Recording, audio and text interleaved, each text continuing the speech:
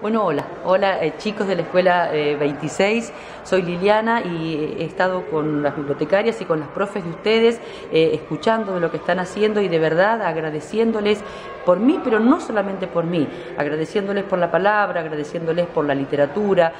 con los que nos transformamos en realidad en los verdaderos héroes, porque héroes son los que siempre tienen la palabra apropiada para decir y para consolar. Los quiero mucho.